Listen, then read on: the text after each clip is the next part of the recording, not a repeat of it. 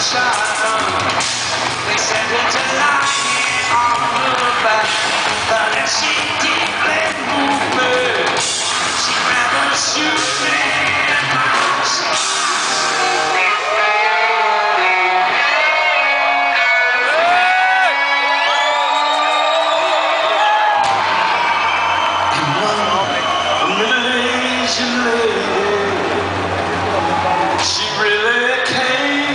Came no surprise.